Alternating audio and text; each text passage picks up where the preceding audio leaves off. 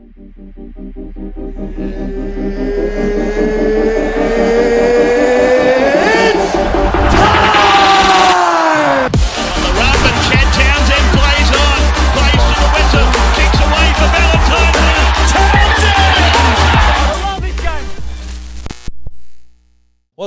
guys? Welcome back to another episode of the Chad Townsend Show. And as always, today's episode is brought to you by playersgolfclub.com.au. Head over to the website, get your merchandise, your polos, t shirts, hats, accessories. Uh, we've got it all. Everything you need for your next golfing adventure, golf day. Um, plus, our golf day is this Friday, the 13th. It's sold out. 120 golfers vying for the trophy. The first four ball Ambrose tournament we're running. We're super excited. We can't wait. So I'm sure you guys will see much of that um, after it's happened. And as always, I'll bring him in, uh, Mr. Elliot Lovejoy from Triple M, mate. Thanks for joining us again, buddy. You shaved your mustache. I did. What do you think? I think I miss it. I think I miss it. I actually thought to myself, I was like, I'll shave it, but will I miss it? And I shaved it and I didn't miss it. Right. And you know, like if you shave your head, you Yeah. know, you're like, oh, I wish I didn't do that. But I shaved the mustache and I was like, yep, I'm glad I did that. time to go. It was time to go. What's I mean, next? Chin strap. Um, mullet. Mullet. Mullet's next. Right. Actual? Yeah, like not like Reuben Cotter mullet, Right. but like just a little sneaky. Off, hybrid? yeah, a little hybrid mini one off season. So, yeah, I always like to mix it up in the off season. I know you do. Mate, let's get straight into Mm. it. Well, um, before we do get into the, the Pacific Test preview for this weekend, some huge games, let's quickly recap uh, the battle at the Reef on the weekend. You Mm. and I and producer Dale, both, all of us, um, had a great night on Saturday night at the Townsville uh, Convention Centre. Um, mate, your any key takeaways from the night for you? I, I know that you've been saying the whole time I wouldn't get in the ring and you're firm on that. I kind of I watched that Hodges Cooper fight first up and I thought, oh, like I can see the appeal. I can see why boxing would be fun. Like they both looked like yeah, they landed a couple of shots, but they had a good time. Then we got to the Junior Paulo Ben Hannant fight, and as soon as Junior landed that first massive shot, I was like, nope, I, will, I will never. It was props to them. I, I, I don't know if you've spoken to any of the blokes that gotten have gotten in the ring like Jace. I know you know Regan pretty well as well, but they must they must lose sleep during the week before going into it. You must be so scared. Yeah, well, at the press conference, that's all they were saying. Both Big Reggie and Jace were very like, yeah, I'm pretty nervous. Like in footy, you can obviously rely on, you know, the rest of your team to sort of help you out. But only in boxing, it's like you are on your own. Um, that fight you just said, the first one of the night was Hodges versus Cooper. It was billed as an Origin battle. Hodges got the victory. We both picked Hodges. Uh, actually, I picked Cooper just to make things go. interesting. But Hodges obviously had uh, a couple fights previous, which definitely helped him. You'd say. Yeah, it was it was fun watching it with you and, and with Dale because none of us know boxing, right? so uh, even mid fight, we're trying to predict. We're like, well, well, Hodges looked like he landed a body blow. Does that mean anything? Um, that kind of made the results more fun because a lot of the time with the close fights, I didn't really know what way it was going to go. Yep, definitely. Uh, if you haven't seen the video, head over to YouTube. There's a full recap vlog of the night. Uh, Dale, Elliot, and I, we had an absolute ball. So um, the reaction of all the knockouts, everything, white towels, big boys throwing hands, you can check it out. Uh, the next one, like you said, was Junior Paulo versus uh, the polar bear Ben Hannant. Junior comes out and he's had a couple fights as well. Same with Benny Hannant, and we know how tough and resilient Ben Hannant is. Junior lands a couple of big blows, and the polar bear just keeps on getting up. Showed a lot of toughness, didn't he? Uh, After he cops his first shot that I think you see in, in, in the video you posted, where I'm thinking, well, that's the quickest fight of the night. It's over. And I don't. I feel like his team were like, "Stay down, Ben." And he just he got back up and he actually landed a couple of shots on, on Junior after that too. But Junior Paulo is, I mean, he's the real deal. Yeah, he is, and it'll be interesting to see who he fights next off season because I'm sure um, he will. The next fight of the night was a Big Nelson, Asofa-Solomona versus your man Jaywal. Um, you uh, you had Jaywal in your multi, and unfortunately, it didn't go your way. But uh, Big Nas, mate, he's uppercut early again, and another you know respectful performance from Jaywal to land that blow on his chin and then get back up again. That video is doing the rounds on every social media outlet because so many people thought Jarrod lost a tooth. Yeah. I still don't 100% know what it was that went flying, bit of plastic from Nelson's glove or, or whatever. He must have a steel jaw. I, I spoke to Jaywall after it uh, and he said, Oh, I didn't think he hit me that hard. I said, Oh, you've got to watch the replay. Yeah, I spoke to J Wall the next day, and he was like, "Man, I just couldn't get in there. The reach was just too much." Yeah. Um, but like we've always said along the whole line, so much respect for these fellas uh, getting in there. In the next fight, we were tipped. We were completely wrong about this next fight. It was Tavita Pangai Jr. in his first professional bout against Frank Amato. Given, I'm pretty sure, two weeks' notice, Big Frank. We just thought he was plucked off the street, going to get knocked out in the first round. We were unbelievably wrong, weren't we? That was, and again, like a new fan of boxing. That made me enjoy it even more. Frank Amato, I think around 40. Uh, Tavita Pangai Jr., first fight since retiring from the NRL. Um, both of them looked great. It went six rounds. It was the longest fight Tavita's ever had. Both men were gas, but they just threw haymaker after haymaker. Almost the entire, every round had a, I reckon, a 25 second stretch where they were just throwing bombs at each other. Yeah, this was, uh, and I at the end of the fight, I was standing, I was up on my feet, Yeah. and as much as the crowd were too, it was just phenomenal. It was The- awesome. The, work rate, the punches landed, both of them just eating punches and then going back in, um, defending punches. Frank looked great. His technique was great. Tavita looked good. Tavita looked like you know he's got a lot to build on. If that's you know, um, I know he's had a couple of fights before, but if he's moving into now as a more full time focus, he's you know, got some, um, I guess, progression to go, but a, a great place for him to start. I'm not sure who he called out at the end of the fight. It was a, it was Um, a top 10 ranked fighter. I- Yeah. I, know that uh, in the state. But um, yeah, Frank Amato. phew. I, Yeah. I didn't know who he was before that. And Yep. That was. Now we was do. So. Frankie, Yeah. props to you. Um, what a performance. The next one was uh, the headline footy fight of the night, which was Regan Campbell Gillard versus Jason Taumalolo. Regan Campbell Gillard got the uh, the decision on points. Yep. Um, obviously disappointing for Jace, but good for experience for him to get in the ring, wasn't it? Yeah, shout out to him too because I'd, I'd snuck in to see him after that fight, and it wouldn't have been more than 15 minutes after the fight. He was backstage, and there was a bunch of kids that were uh, grabbing photos and whatever, and he was making the effort when I'm sure he was just gutted. Um, spoke to him and said he felt like he was a bit gun shy. Said he felt like there was an incident for those that missed it where his gloves were tied up the wrong way on one of them. He said that put him off a bit because it delayed the start. Uh, and you sort of saw it because as the fight went on, he he, he looked comfy, um, but he started. I don't know whether he was nervous or, or whatever, but he said he wants to get back in there. So Yeah, well, he definitely left it till the probably the third round. Reggie probably Mm. won the first two, and Jace won the last one, where Jace was going forward and, and landing a few shots. So, got no doubt we'll see a big, uh, big Hulky back in the ring. And um, mate, who, who who's are some of these next fight? Like, who does Junior Paulo fight next? Big Nelson. Can you match up any of these guys for next year, or any other NRL players you can think of that would be good in the ring? Well, I mean, I'm not too worried about being good in the ring. I, I want the dream matchups. Yeah, I know Jaywell did call out Jai Arrow after it. Said he's a pest. He's a cat. I Aren't hate him. mates? He also said he's the godfather of my son. Um, well, in terms of Pal- Paulo um, Nelson, Yeah, that would be good. Um, but then, you know, the big rivalries you see on the field. So Reece Walsh, Jarome Luai.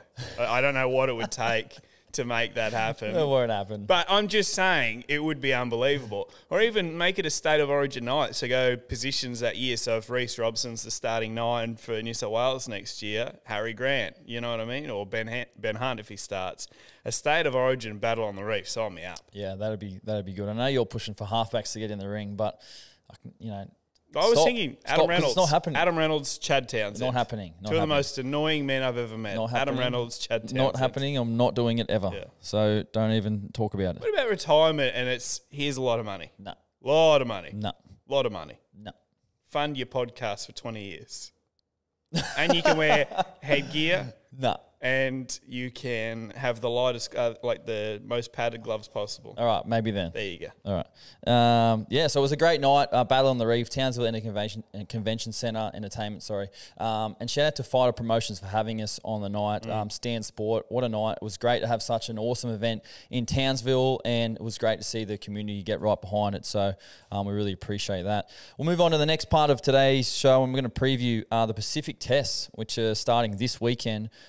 Um, Australia versus Samoa in what is a rematch of the World Cup final from the end of last year. There's a few uh, debutants in the Kangaroos side. Um, we'll quickly run through the team for the Kangaroos. Tedesco, Edwards makes his debut. Hamiso makes his debut. Kotoni Staggs makes his debut. Selwyn Cobbo makes his debut. Munster, Cherry Evans, Payne Haas, Ben Hunt, Tino, uh, Cam Murray, Liam Martin, Isaiah Yeo, and then on the bench they've got Harry Grant, Lindsay Collins, Pat Carrigan, and Reuben Cotter, who gets married the day after a test match on Sunday here in Townsville. And I spoke to the big fella this morning, and um, mates, uh, he's just hoping that the Toa Samoa will take a little bit easy on him. He doesn't get any black eyes for for the big day on Sunday. But another big event happening in Townsville, mate. Any uh, any thoughts on this game against um, what's likely going to be again a, a quality Samoa team? That Samoan side on paper is unbelievable. It's probably only the halves you're like, oh, okay, maybe Australia has advantage because I think Stephen Crichton's playing six, Dejan Arce in seven. But um, I'm excited for Dylan Edwards. I don't know how we go playing on the wing, but that's obviously a reward for the couple of seasons he's had. Yep, definitely. And there was a lot of talk around Dylan Edwards, you know, missing Origin selection, and now, um, you know, he's going to make his Kangaroos debut. And um, I think there was news this morning saying that he's missing his brother's wedding to play, which is phenomenal. And, and, Like- pe- and people people keep saying, "Oh, he should be playing fullback," and uh, people keep having this argument. And, and I sit there, whether you're a Teddy lover or you're you're not, he was the captain at a World Cup we just won. How do you dump him from a team that's having success? If the Australian team is not having success, then fair enough, maybe you think about some things. But if he's winning in that position, I, I don't understand the argument. Plus, what he, they the Roosters just did in the final series when they had no right, you know, Yeah, no I- right to I just- do what they did. I don't know if it's an anti-Teddy agenda or whatever it is online. I just it it makes me cranky. Few internet opinions make me cranky. This one does because Yeah. again, he just led us to a World Cup win. He has not put a foot wrong in that Australian jumper. I understand that Reece Walsh and Kalyn Ponga, etc., are in incredible form, but these are young kids that will get their opportunity. At the moment, Teddy's the leader. He's the man. Who's pushing these agendas? Because let's let's I get don't them. know. I don't know. Um, we'll quickly uh, touch on some of the notable selections in the Toa Samoa team. So um, our guy Murray Taulagi, um, unfortunately, did, yeah, didn't make the Aussie squad, so he's in uh, uh, Toa Samoa. Um, Izack Tago is in the centres. Young Tono Mapea, Brian To'o, Stephen Crichton, um, Dejan Arce. Their forward pack, which is pretty big. Stefano Utoikamanu, Gordon Chan Kum Tong from Manly, He's Junior a character. he is. I've heard that from Woodsy. Junior Paulo's the front row. Our back row, or sorry, Toa Samoa back, Let's our go. back row. Luciano Leilua, another cowboy. Connelly Lemuelu, Keenan Palasia, and then their bench is Spencer Leniu, Terrell May, Helam Lukey, and Ronald Vulcan. What a bench that is. That's Have a- it. Spencer Leniu, Terrell May, Helam Lukey. Powerful. It's a really handy bench, and they're a really good side. I, I think, um, I think minus Australia, and, and look, they could get the chocks this weekend, but minus Australia, I, I do think they're the second best team in the world at the moment. Yep, I, I agree. And I think traditionally, like, you know, you said before, Stephen Crichton's having to play in the five eight position, um, probably because their lack of depth in that position. I think, you know, you look at some of these Pacific nations and predominantly their main or their best players are forwards. You know, they usually always have big packs. I mean, you just look at Tonga with, you know, um, Jason Taumalolo, um, you know, Kalao Matangi, um, and the likes, you know, big name players, but their halves haven't really been, you know, as notable. So um, that might, I guess, weaken them a little bit there with Crichton not having played five eight um, as much. But I still think, you know, he's a freak of a player, so he'll be dangerous whichever position. And who who's on their wings again? Sorry, Muzz and Their wings To'o. are Muzz and To'o. so. uh, So this, is- this is the depth of Samoa. Greg Marzhew in that squad misses out. That, that's how good their backline is. Yep, that's right. And you got uh, jerseys 18 to 21. Royce Hunt, Justin Matamua, Greg Marzhew, as you just mentioned, and Tommy Talau as well, who, Yeah. you know, is um is Off you know Manly, I think. Off to Manly Yep. and would probably do a great job if he was playing as well. So he'll probably get his opportunity um, over the next few weeks. Um, DCE comes in at halfback with Nathan Cleary out and Not Nico a bad replacement. Definitely. Nicho Hynes makes, um, he's in the squad as well. I think he's 18th man. Um, do you think, question for you, David Fifita is missing out of this squad? He was, you know, second row of the year, Dally M Mm. second row of the year, and had a pretty good origin series. And um, is, is he hard done by by missing out on this team Oh, I just a squad? who who would you replace? Mm. And, and I, I agree with you, but There's always going to be selection. who, who are the back team. rows for Australia? Liam Yeah. Martin and Liam Martin and Cam Murray. who are, who are them you going to tap on the shoulder? And then your 18 to 21 is Nicho Hynes, Yeah. Jake Trbojevic, Tom Flegler, and Val Holmes. Yeah. So I just outstanding, yeah, but that Aussie side is Yeah. so good for a reason. Yeah. So big game. Aussies are playing Samoa here, uh, Queensland Country Bank Stadium on Saturday night. It's going to be a, a huge game. Another question for you: What do we, what do you think of tier the tier two nations now and the rise that has happened with the likes of Tonga, Samoa, Papua New Guinea, Mm. Fiji? It is unbelievable for the game, isn't it? Well, I think it's made the international game exciting again, and I don't mind saying I think there was a long period of time there where um, if I heard an Australian game was coming up, I'd I'd probably watch it, but I wasn't overly phased by it. But now, if any of those teams are in action, your Tongas, your Samoas, your New Zealand, England, or whatever, England's another one that they're a lot better than they were years ago. And and I don't know if that's the quality of the Super League, um, but that transcends to the to the women's game because before the men on Saturday, the the Aussies play New Zealand. There's some unbel- I mean, Tamika Upton is going to be out there again eh, on the New Zealand side of things. They got this beast of a centre called Mele Hufanga. I think she just won Brisbane's Rookie of the Year. She was amazing. Scored four tries against the Cowboys when she played them. Yep. She's a beast. So Yep, yep. in in both aspects, it's going and, and for the fans, for myself and, and fans, it's awesome. Yep, I absolutely love it as a rugby league fan, and I think, you know, Jason Taumalolo and you know Andrew Fifita deserve Yep. a lot of credit for, for the rise of this, and and I that'll be a legacy that those two guys will leave long behind once they finish playing. I mean, Andrew's obviously finished now, but for them to, you know, shine the the Origin jerseys and the big Test match payments and go to a smaller nation and represent their family and their heritage and just build that up. I I think the legacy is unbelievable. Do you agree? Yeah, well, what, what do you think was the turning point? Was it when Tonga beat Australia and was it 17? I Yeah. can't remember the exact year. Yep. Was that, do you think, when it evened out a bit? Yep, definitely. And I think now, you know, it, it took a little bit of time, but now it's like we're talking about Samoa beating Australia with their team. Realistically. And we're talking about guys who are choosing to represent these tier two nations and their families over Australia.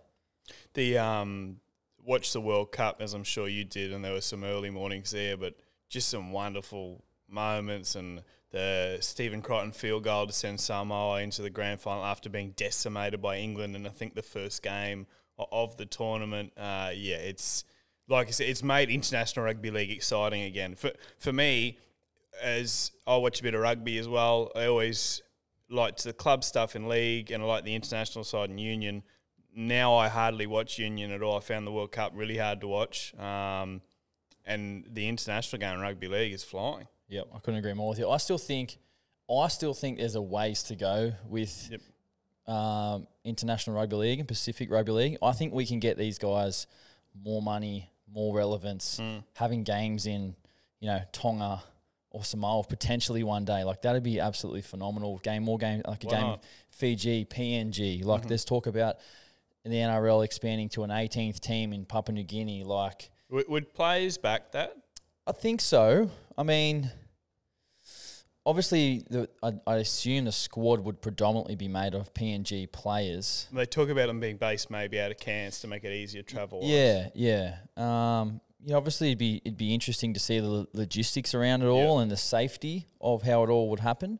Um, but one thing I know about PNG is their fans. They're like their national sports rugby league, so they've got you know the fan base to do it. Um, it's just more about I guess the the the structure, Logistics. logistics of yeah. how it will happen. But um, that's one to keep an eye on. Be unbelievable. Yep, um, definitely. So, uh, where do we think this game is won on the weekend? For I'll start. I think, and I mentioned it before. I just think that the cl- the the class of the Australian halves and spine will overcome the Samoan team. Like you look at the Samoan team, some fr- absolute freak plays, but I just think you know the class of Cherry Evans and Munster and Harry Grant and Ben Hunt. I feel like these guys are you know, the top of their games, know exactly what to do and when to do it. And I just think that the forward packs are pretty evenly matched, is what we'd expect. But the, spine for me is is where it's going to be won. Yeah, I mean, I won't dispute that. You know, Cherry Evans and Munster. I'm not trying to um, uh, besmirch Stephen Crichton and Dejan Arce, but two totally different sets of players there. Um, outside of that, the teams are relatively even on paper. I think. Uh, I, I, I still I, I can't wait for this one. Some of the big boys in the backline, both backlines, are actually. Has who's playing fullback for Samoa? Is, is the young Melbourne kid? Yes, it is uh, Sualauvi Fa'alogo. Yeah. So Yeah. I, I hope um, people got a chance to watch this kid when Melbourne and Brisbane rested all their players the last round of the year. He played in that game. Oh my god, He he's looks a goods. Super talent. I think he only played half the game, scored two tries, set up another one. Uh, he'll be exciting to watch this weekend. Yep, he looks the goods, and he'll be one to keep an eye on um, as Papenhuyzen comes back, and they've got Nick Meaney as well. So Storm will, will potentially have a few headaches in the future with this young kid because he's going to be an absolute player. Um, all right, well that's it. The the, the, the Pacific Test. Um, it's going to be a huge game this Saturday night. Uh, my next question for you is: Are the players playing too much football at the moment? I know I have my opinion on this, and I'll get, I'll let you go first as Okay. a as a Uh, fan. Yeah, as someone that doesn't have to put my body through it, I, I'd I'd probably rather see it while there's still a bit of momentum in footy, which there is at the moment. Um, so you want to have an international season. I don't know if you can have it during the year with Origin and everything else in there, and with an extra game on the calendar now anyway. Um, I I like the structure. Uh, I like that it's not long after footy, not far removed, because I haven't forgotten about rugby league yet. I haven't fallen in love with the cricket summer just yet. Um, so uh, for me, I say play on.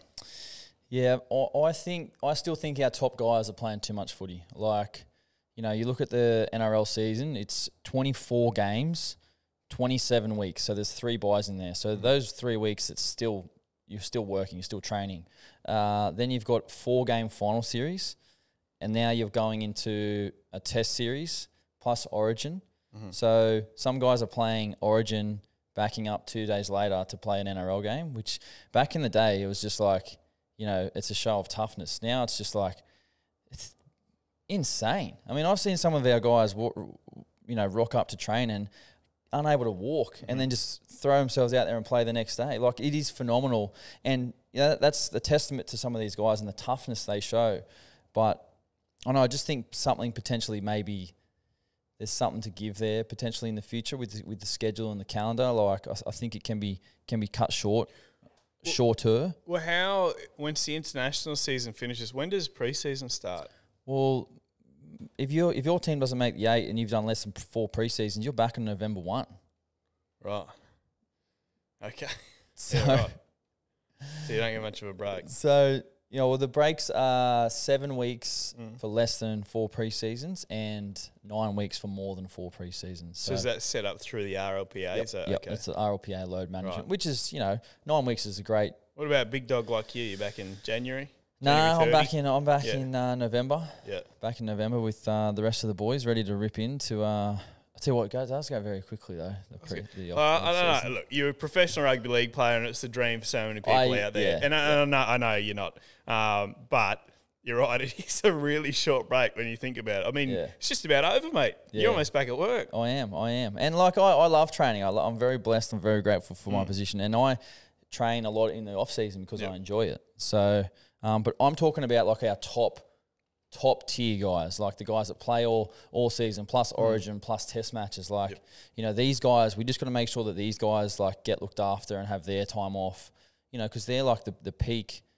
the best players in our game. So we want we want to make sure they're on the field. Well, you guys felt the effects of that probably to start this season with all the boys coming back from the World Cup, particularly a lot of young guys like um, Maya and, and Muzz and whatever that hadn't done the longer schedules before and Yep. then getting back straight into club stuff. They looked a little bit tired to start the season. Yeah, definitely. I know that. Um, yeah, I'm sure next time they do a World Cup, they'll do it a little bit differently with regards to their return and things like that. Because that obviously did drag on for a long time. The World Cup, um, which only happens once every four years. But yeah, why not talk about and try and do things better in the future? Um, well, I say, mate, let's go over quickly. There's another game happening as well this weekend. The uh, the PNG Kumuls take on the the Cookies, the Cook Islanders, and I want to give a quick shout out to our guy, our North Queensland youngster Zach Laybutt, Yep. making his. I know he played in the PM's game the other week, but now he's actually making his test debut for the Kumuls with his brother Kyle Laybutt. Um, proud North Queensland boys, both have some big uh, PNG heritage. This and Rob Derby's in there as well. Yep. Um, another uh, cowboy. This is awesome to see for the Laybutts, isn't it? Yeah, well, you said before PNG, the only country in the world where rugby league is the national sport. Um, I I like Kyle Laybutt as a player. For those that maybe haven't seen him, actually debuted. Defense. Yeah, Wow. debuted with the Cowboys. He had, I'm trying to remember who it was a couple of years ago. I think it was Dan Russell was playing for PNG as well, uh, who's now at St George. And he had Kyle Laybutt at 5'8 on the left side of the field. You had uh, Dan Russell with him as well. And you had Viliami Kikau running at him from Fiji. And this is Kikau, uh, it must have been last year when he was just, no one could stop him. And it was the best he was defended all year by a bloke, well, two blokes at that time playing Reggie's. Yeah, Cole Laybutt is an incredible defensive half. He, and and I know you can sing the praises of Zach, you can tell us more, but everyone I speak to about Zach, they keep it really simple. They say he is a player, he will be a player for a long time. Yep, definitely. I've definitely noticed about uh, that with Kyle. His defense is phenomenal. So keep an eye out for that if you're watching the game. Uh, Zach, very quiet kid, works really hard. Um, got a big future in the game, and He'll, he'll push for a starting Yep. spot come preseason, I Definitely. assume, with you guys. definitely he'll get a chance to compete for the starting spot, which is which is great because he's he's a great kid. He works hard. He's another Townsville, uh, North Queensland, you know, junior. So it's always great to keep uh, local juniors in the system, mate. Let's some um, some notable inclusions in the PNG side. Alex Johnson is at fullback. We just spoke about Rob Derby, Zach Laybutt, and Kyle Laybutt. Nene McDonald is on the wing. Lachlan Lamb. Who's just had a great season over there with uh, the Leigh Leopards? I think his dad just won Coach of the Year. Yep, uh, which is which is unbelievable. They won the Challenge Cup, so congrats to them. Uh, who else they've got? They've got here uh, Jack de Belin makes his PNG debut. Not sure of the heritage connection there, I but I think it was grandmother's side I, I was reading. So, yeah, he, he makes that forward pack even a little bit stronger. Yep, and I think uh, I love seeing this because um, I, I think that he will have a really great time in PNG camp and learning about his heritage and his family.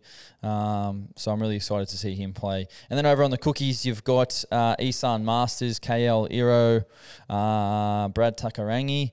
Uh, Tevin Arona, Zane Tetevano as some of the notable players there, and these guys are playing on Sunday at 3 p.m. at uh, at Port, Port Moresby. Oh, it's PNG. PNG. So this is going to be a pretty wild, big game, mate. We'll move on to um, some other sporting news um, that is relevant at the moment, Hmm. and you touched on it before about the World Cup, the Rugby World Cup. Yep.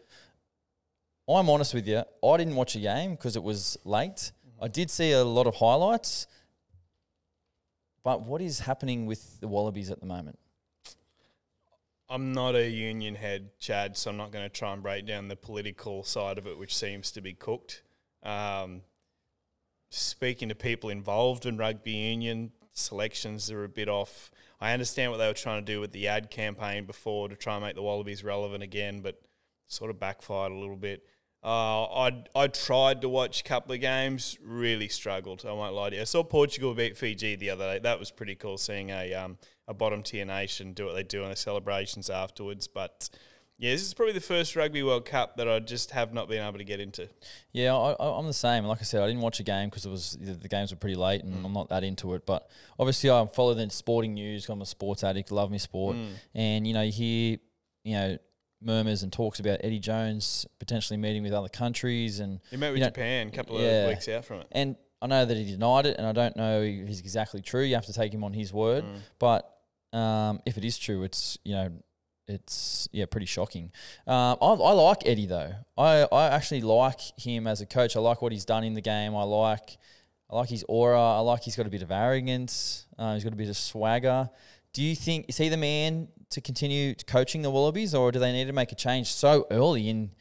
I think he signed a four-year deal.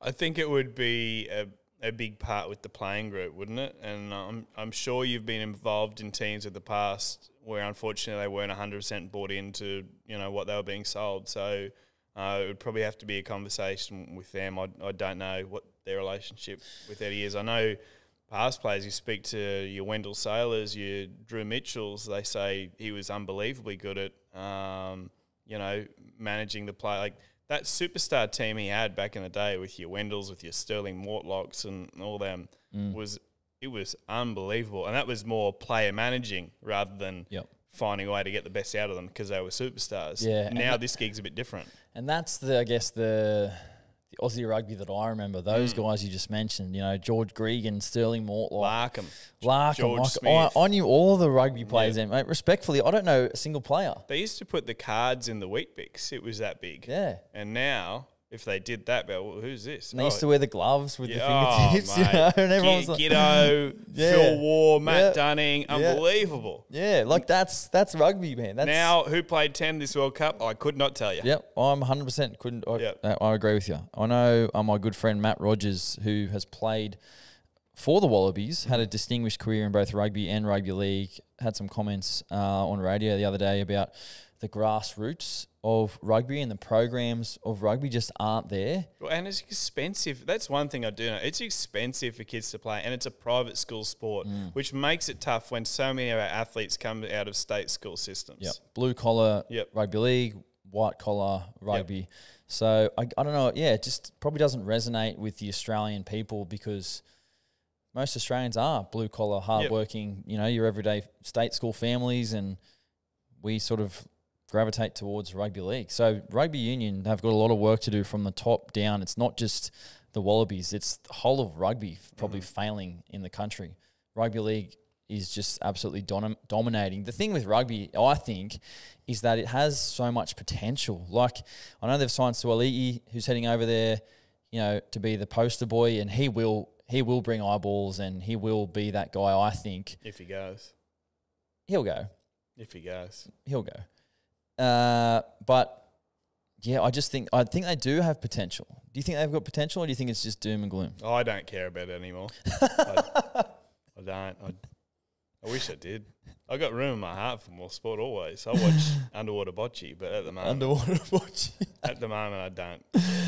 All right. Uh, the next thing happening at the moment in the sports world is uh, the AFL trade period, and um, this is quite an interesting concept that the AFL do. Obviously, they have the draft and the trade period. Their trade period runs from Friday, October 6th, until October 13th. So as we record this, it's the 11th of October right now.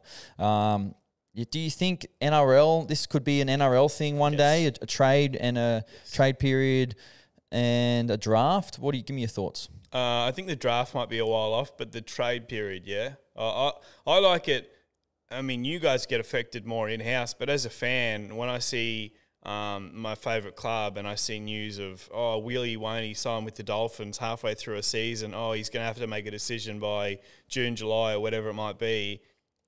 That must be so disruptive for fan bases, for playing groups, for coaching staff, for all of that. Um, I'd love to get your take, but I would absolutely love to see a post-season trade period so we don't hear about this bullshit during the season. Yeah, it's a big, I guess, American sports thing. Obviously, they do have free agency hmm. after the season. They're unable to sign contracts until after their current season. Where with us, you know, if your next year's the last year of your contract, November one, effectively, you're allowed to speak to other clubs to sort some employment opportunities. Yep. At the moment, the current system gives players the most, I guess, flexibility on securing a long term deal. Okay. So, November 1, effectively, I could sign a deal for after next year for three years, right? Mm. Without playing a game next year. So I haven't had to play a game yet. I've just secured my employment for the following years. That is great as a player. If I wasn't allowed to, say, until a certain time throughout the season, say round six, ten, whatever it is, but in round four, I get injured and I'm off contract, you know, my ability to sign a long term deal now for that three years potentially isn't there. So as a player, you know, for the players, I think the system at the moment, while I understand your perspective from a fan's point of view, from a player's point of view, selfishly, it allows us to secure our employment without the risks. But you, uh, and I, I think you just said it. You can get that as a fan again. And I'm just let's just use an example. If my favourite player is uh, I don't know Cameron Munster at, at Melbourne, and the season starts and he announces, "Oh, not this season, but next season, I'm going to be moving to here, there, everywhere." It's really hard as a fan to watch that year, knowing that you know he's on the way out, and and I know you guys put 100 percent in regardless, but fans can't help but question: Oh, is his head going to be there 100 percent? Is uh, the playing group still bought into him, knowing that he doesn't want to be there next year, or he's signed for bigger money elsewhere next year? Security, I, I understand, but it is difficult for the fans, I Yep, reckon. I fully, fully respect and understand that, and I, I get that. I think the biggest situation like this at the moment was Stephen Crichton. Yep. You know, I'm not sure when he signed with the Bulldogs last year. I'd say it might have been sometime in November, maybe. Mm-hmm. So he signed a long time early. You know, without playing round one for the Bulldogs you know, and obviously they had a successful season, they won, and that's always not the case with some other players. But, you know, speaking on the players' behalf, it's like if you sign 12 months out somewhere else, you're doing it for a better opportunity. And, you know, I don't think you can question, you know, I guess every every situation is different, mm. right? So I don't want to speak on that too much, but he's probably the most notable example of of that happening, you know? Could, well, could we meet in the middle then and say, okay, we can we can keep the ones where you know we're signed a year in advance or whatever, but stop the during the season stuff because again, as fans of the game, there's nothing more disheartening than five rounds in you find out you know old mate's heading off next year Yeah. or, or whatever. Even even the mid season stuff, I'm not a huge fan of. Yeah. Yeah, like I don't know, like I said before, the flexibility that allows players to just sign when they can to you know, secure their future. I really like. And I'm obviously a player, so I'm I'm I'm, Yep. I'm staunch on the players side, but I'm compassionate to the fans as well. So, um, I know I sat in on the RLPA collective bargaining agreements with the NRL, and this was a heated topic for a long time. The NRL wanted to do it postseason. The RLPA said no way. They wanted to do it mid-season. The RLPA said no way. So um, I know there's some some uh, things that have been brought in that are different. That um, where if you've been offered a contract, your current club gets a right of reply to make a, a deal without That's obvi- right, yeah. obviously just being able to lose you straight away. Um, the finer details on that, I'm not 100% sure, but I could get them for you. Um, but I know, like I said, it has been a um, a topic of conversation. So it's one to keep an eye out. Obviously, like we said before, American sports uh, are heavy on drafts and trades and all that stuff. And you know, an NBA player is getting traded. One day he's playing for you know the Phoenix Suns. The next day he's playing in Miami for the Heat. So um, with NRL, things are a little bit different. Um, so yeah, it's one to keep an eye on. Uh, mate, next uh, let's talk some NFL. Um, at the moment, your Bucks are flying pretty good on the weekend. They had the bye. I saw Baker went out to uh, Oklahoma and had some fun. Got on the Pat McAfee show and um, Two of the world's biggest lunatics put together. For, uh, a rugby league example would be putting Cameron Munster and Scott Drinkwater in the same room and just letting them do whatever they want. Well, I absolutely I love Pat Yeah. McAfee. He's someone I watch a lot Mm. every single day, and I take notes on him. So For anyone, and so many people are starting podcasts and, and doing YouTube stuff and, and whatever. Um, if that's something that you ever want to do, you should. If you haven't watched Pat McAfee, uh, for me, he's been the best in the game at it for a long Yeah. period of time. I love him, and I take a lot of my inspiration off Big Pat. So, Mm. um, big fan of him, mate. Let's go through some of the results on the weekend. The Bears win their first game for what is nearly a whole year. Yeah. I watched this game. They beat the Commanders forty to twenty. Absolutely dominated. Yep. This is the like the Bears. They didn't look like the Bears. Yeah, the Bears might be back. The Bears might be back. Justin Fields was phenomenal. Um, his wide receiver, who I have in fantasy in one of my leagues, DJ Moore, DJ Moore. That's right. We just went off three touchdowns. Just 200 something yards. oh mate, an absolute beast. The Jaguars upset the Bills twenty five to twenty. Dale, your Texans lose to the Falcons twenty one to nineteen. Producer Dale, who's sitting behind, um, flicking the the switch over here for us, mate. Just give us some quick to- uh, comments on the end of the Texans game. Anything there? Uh, I don't know. Eh? That's um touchy subject.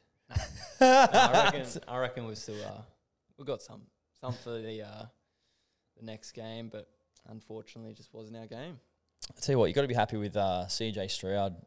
Oh. Dale, any any quick comments on CJ Stroud there, or No. I'm not super into it, so I don't know who who uh, who that is. But, uh, I only just got into it at the start of the season, so yeah. so at the start of the year, we just said to Dale, "Who's Yeah. your NFL team?" Pick a He's just picked the random one, and said the Texans. So Respect. respect to him because they're actually uh, they're two and three at the moment, and they're usually garbage, and they're not Mm. garbage at the moment. Uh, the Lions pumped the Panthers 42-24. The, the Panthers, who've got the number one draft pick, Bryce Young, are zero and five at the moment. They are hot garbage, and and what they've done too is their number one pick this year is going to the Bears. So if if they finish last or somewhere near it, the Bears are going to get another number one pick. Yeah, Jesus. Uh, what else we got here? We've got the uh, the Colts beat the Titans twenty three to sixteen. Uh, the Dolphins beat the Giants thirty one to sixteen. Saints absolutely pumped the Patriots thirty four 0 The Patriots last week, I think they lost thirty five 0 was it? It was something similar, 35 35, three, I or think, yeah. 33 0 and then 34 0. Back to back, Bill Belichick's biggest losses in his career. You know what? Um, and I don't mean to be vindictive here, but so many people, when Tom Brady left New England to go to Tampa, said um, he's a system quarterback. And if you're not an NFL watcher, essentially means he was only successful because he was in Belichick's setup at New England. And if he goes somewhere else, he's going to stink. Obviously, Tom Brady goes to Tampa, wins the Super Bowl in his first season there. And for the Patriots, they haven't been back to the playoffs since. So Yep. So people are very, very wrong. Uh, the Steelers beat the Ravens 17 to 10. Probably the best performance from the Steelers all season, to be honest. Bengals beat the Cardinals 34 20. They looked a lot better. The Bengals, Ja'Marr Chase, finally uh, got some scores in fantasy, some touchdowns. The Eagles beat the Rams 23 14. The Rams were pretty solid. Their defense, I thought, was pretty good. That was actually a really entertaining game to watch. The Jets beat the Broncos 31 21. This was a bit of a grudge match. I know there was a plenty on the line in this one because Broncos coach Sean Payton said that uh, the current Jets assistant coach, who was the coach last year of the Broncos, did a garbage job. So they were they were all in. There was a lot of talk from them pre-game. This was a, a, an entertaining game, wasn't it? Yeah, well, they um, Sean Payton actually said it's the worst coaching job in NFL history That's that, that Nathaniel Hackett did, who, as he said, is an assistant or offensive coach at the Jets. After the Jets won, they had one game ball to give out, which they do to the best player each week. They actually gave it to Hackett, the coach, and Yep. the players went nuts around him. And I know uh, Aaron Rodgers put a tweet out there saying like Hackett, great win for ha- hashtag Hackett. Uh, the Chiefs beat the Vikings twenty seven to twenty. Are the Vikings done? Just quickly, one and four at the moment. Kirk Cut- Ja'Marr Chase is on IR. Justin Uh, Jefferson. sorry, yeah, Justin yeah, Jefferson is on IR. Yeah.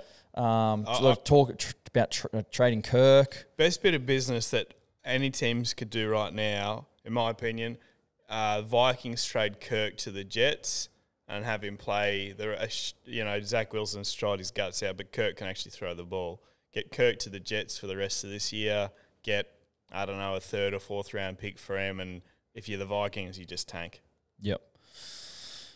Yeah, jeez, that's crazy. For people who might not know what tanking means, it means deliberately losing, and that's what they do in the NFL, uh, which is hard to believe.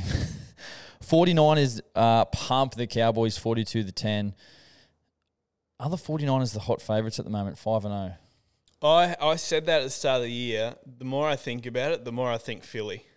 Mm, I like but but they're the best two, and I know it's easy to say that because they're both the two undefeated teams. But squad wise, I love George Kittle, one of their players, scored three touchdowns on the weekend. One of the celebrations lifted his shirt up and he just had a shirt underneath it that said F Dallas, which is amazing. I did see that, and I know Micah Parsons does his podcast as well. I saw he was uh, pretty. He didn't love that. He was pretty offended by it. Uh, the Raiders beat the Packers 17-13. The Packers didn't look great Neither team did. on Monday. Yeah, t- you're 100% right. You see the uh, Mark Davis, the Raiders owner, just sitting in the box. Seventy-year-old man with the twenty-two-year-old girlfriend. Yep. Yeah, just shaking his head at, at the play. Um, mate, that's it. Let's wrap it up there. Um, yeah, the week in sports. We've got a big week. Uh, still plenty happening, even though the NRL season is over. Cricket World Cup's on this weekend too. Cricket World so- Cup as well. So hopefully the Aussies can get going, mate. Um, and there's a big weekend this weekend. Actually, we've got our golf day on Friday. We've got the te- going on the test match, and then on Sunday Ruben's wedding. So um, very busy, mate. But as always, thanks for jumping on. Enjoy your weekend, Chad. And if you enjoy the podcast, please make sure you like, comment, subscribe, all that stuff. We really appreciate it, and we'll see you guys on the next episode.